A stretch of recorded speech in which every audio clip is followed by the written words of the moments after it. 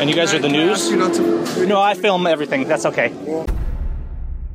So here's this pro life event out here in Spokane, right next to the Planned Parenthood, out here on August 22nd.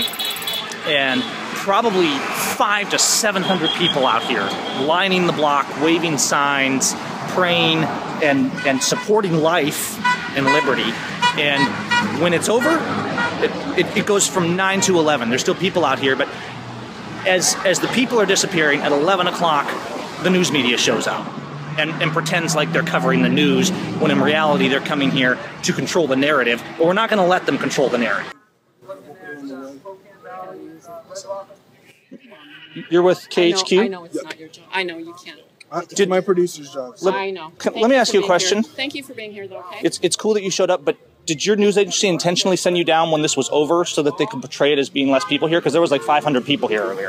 So we just found out about it. Really? And you guys are the Can I ask news? you not to- No, I film everything. That's okay. Well, You, you film too, right? I mean, we both do that. So, I don't be all right. I'm just curious because it seems like that the news is intentionally showing up when this is over, and I would think if KHQ was going to uh, Thank you. cover this with a little more journalistic integrity, they would try and cover what actually happened. You know, I'm not trying to pick on you in particular or anything. I'm just With all due respect, I will talk to you. I don't want to be videotaped. I, I have to videotape because I want to call out news agencies that are well, that are not the covering the news. We we got phone calls. This was happening, right.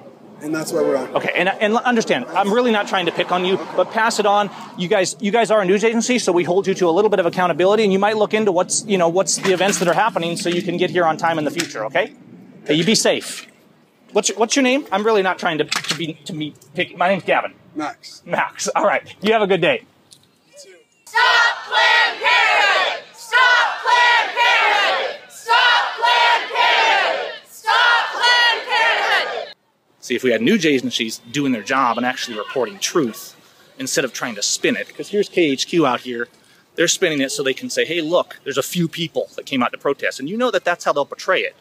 Even though this road was lined with people an hour ago, they actually come out as it's ending and then say, well, don't film me, don't film me, when they're the news.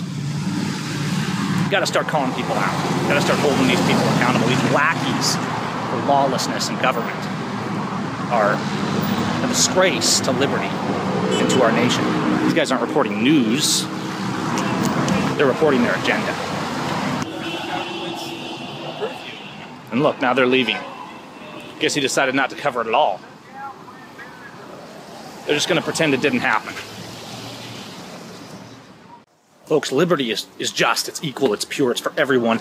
If you stand for liberty for your gun rights, for your freedom of speech, if you stand for liberty for your neighbor, you have to stand for liberty for the unborn.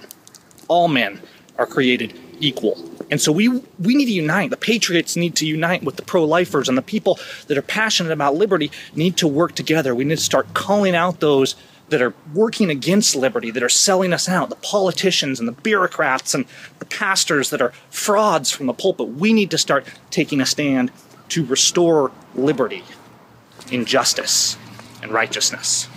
And it starts with us. It starts with you and me taking a stand and being willing to stand the line bold for liberty on every front.